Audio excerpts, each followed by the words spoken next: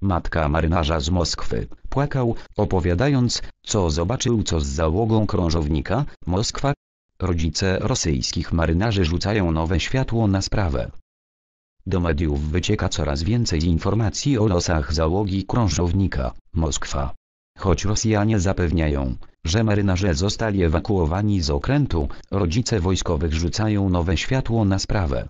Pojawiają się informacje o zmarłych i zaginionych członkach załogi.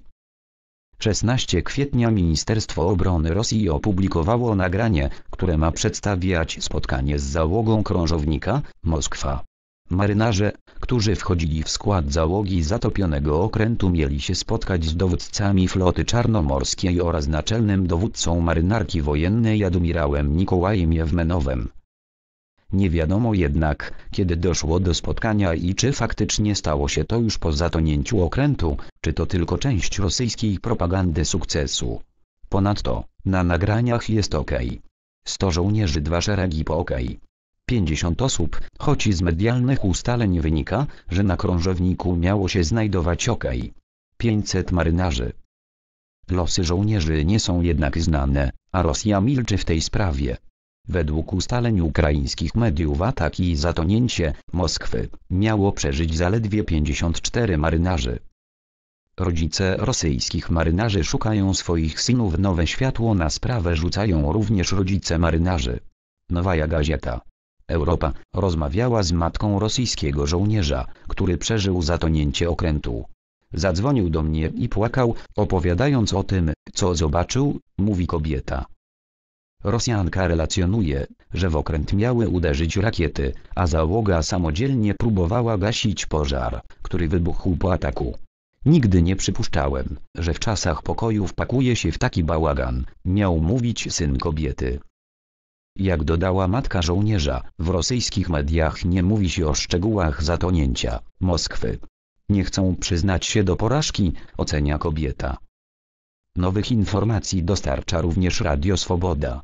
Dziennikarze zidentyfikowali 41-letniego Iwana Wakhruszewa, który był elektrykiem na krążowniku i skontaktowali się z jego żoną. Kobieta potwierdziła, że mężczyzna nie żyje, a dowództwo miało jej przekazać, że zaginęło 27 członków załogi okrętu. W mediach społecznościowych pojawiają się również wpisy rodziców marynarzy pracujących na Moskwie, którzy nie są w stanie skontaktować się ze swoimi synami. Jedną z takich osób jest Igor Skrebets, który pracował na krążowniku jako kucharz. Jego ojciec powiadomił w mediach społecznościowych, że jego syn zaginął, co odczytuje jako zakamuflowaną przez rosyjskie dowództwo informację o śmierci syna.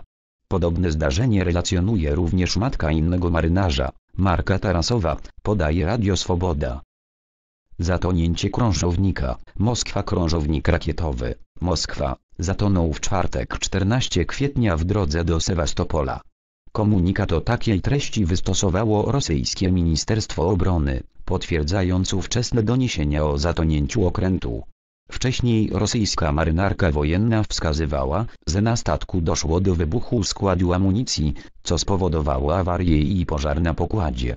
W trakcie holowania okrętu do Sewastopola, by poddać go naprawie miało jednak dojść do sztormu na Morzu Czarnym. Wówczas okręt miał ostatecznie zatonąć. Rosyjska wersja wydarzeń stoi w sprzeczności z komunikatami strony ukraińskiej. Ta twierdzi, że zaatakowała krążownik rakietami Neptun, co doprowadziło do poważnego uszkodzenia Moskwy, a następnie zatonięcia.